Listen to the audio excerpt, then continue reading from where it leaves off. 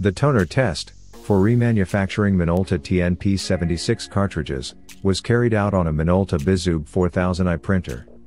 The purpose of the test, is to check the quality and yield of the toner, in a test run of 2000 pages.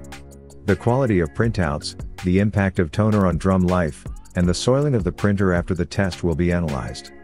The first prints made with the original toner, will be used for the final comparison.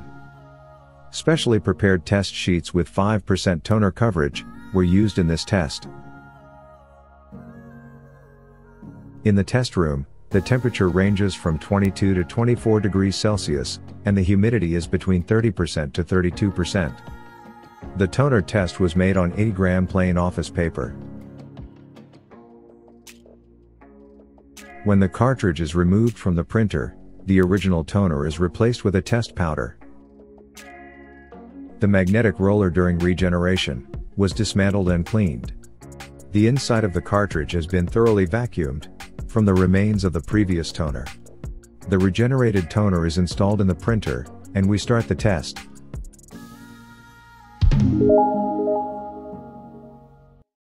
In the first part of the test, the printer received jobs of 5, 10, 20 and 50 pages, so office printing conditions were simulated.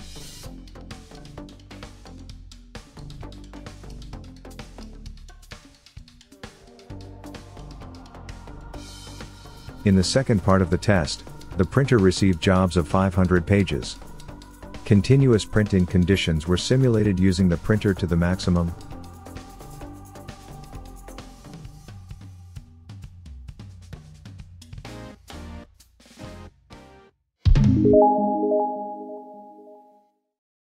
In recent prints, you can see that the toner is very well fixed, and the black parts of the image are not repeated. There is no background on the printouts, the paper is clean on both sides. Saturation, intensity, and grayscale reproduction in the control prints are perfect. There is no repetition of dark parts of the image.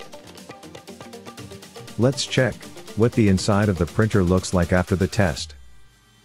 The bottom of the machine, under the cartridge installation location is clean. Toner does not spill into the printer. The drum unit is also clean of debris.